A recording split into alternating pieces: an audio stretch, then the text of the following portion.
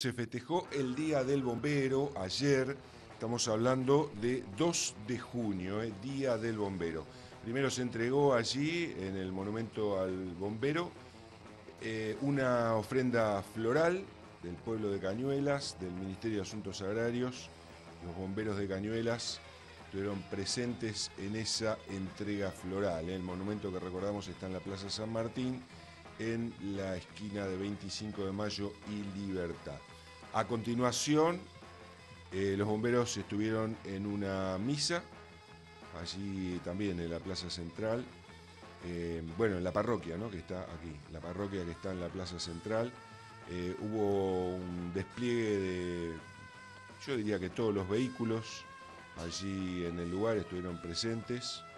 Una exposición muy limpitos estaban todos, estaban de festejo eh, los, bomberos. Y allí, bueno, se estaban arrimando todos para hacerse una foto. Qué cantidad de gente, la verdad, impresionante la cantidad de, bomberos que hay en Cañuelas y allí en el centro, Magil, la, intendenta. Y bueno, luego a continuación entraron a, a la iglesia y allí eh, en la iglesia se dio una misa.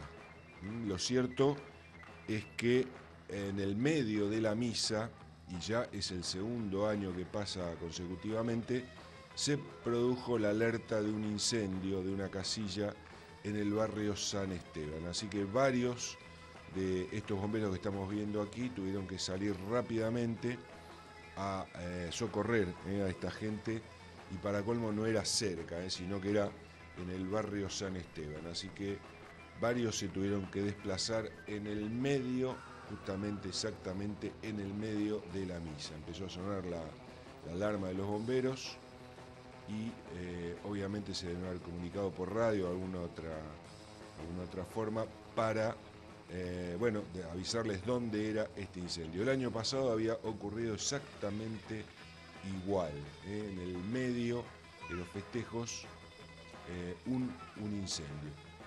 Por otro lado, después de esta misa, allí acompañado por vecinos, familiares y también autoridades municipales, después de esta misa, decía, se dirigieron al cuartel de bomberos a festejar con una cena.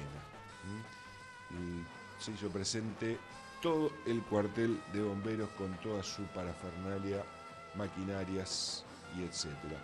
Hoy eh, recibimos un mensaje que dice lástima que no los dejaron desfilar, tampoco tirar fuegos artificiales, los chicos que fueron a ver a los bomberos se fueron desilusionados. De todas maneras dice el mensaje anónimo, feliz día del bombero.